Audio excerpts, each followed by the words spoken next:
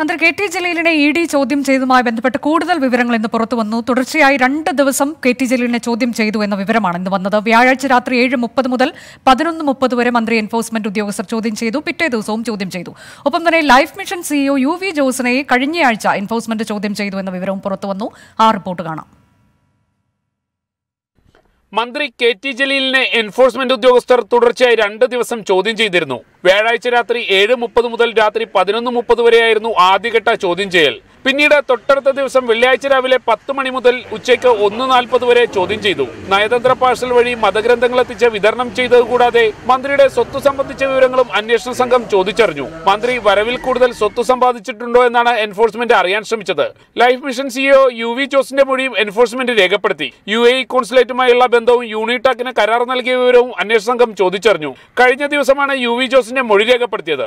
Sahin Antony twenty Kochi.